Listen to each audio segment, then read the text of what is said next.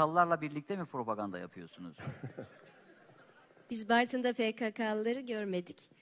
Ee, bu HDP-PKK ilişkisi, sağ-sol ikilemi, bunlar beka problemleri, yok genel seçim havasına sokma çabaları. Ben size bizim kimden, kimin oyuna talip olduğumuzu bir anlatayım size. Biz şu anda Türkiye'de Haziran ayında 1500 lira 7 Haziran 2015 seçimlerinde 1500 lira olsun ücretleri dediğimiz askeri ücretlilerin, biz kadrolaşamayan taşeron işçilerin, biz emeklilikte yaşa takılanların yaklaşık 1 milyon küsür tane emeklilikte yaşa takılan kardeşimizin haklarına nasıl sahip çıkıyorsak onlar bunu gördüler.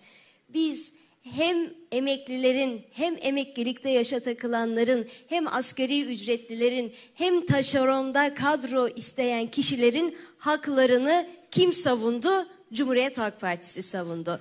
Biz 31 Mart seçimlerine giderken de bu kardeşlerimizin oylarına talibiz. PKK'lıdırlar, Zillet İttifakı üyesidirler, hiç fark etmez.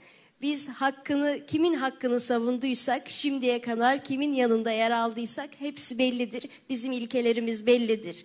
Biz Bartın'da da tüm halkımızın, tüm yurttaşlarımızın oyuna talibiz. Ve 31 Mart'tan sonra belediyeyi aldıktan sonra da hiç kimseyi ayırt etmeden, hangi siyasi parti görüşüne sahip olursa olsun, hangi inanca sahip olursa olsun, biz hiç kimseyi ayırt etmeden hizmet yapıyoruz.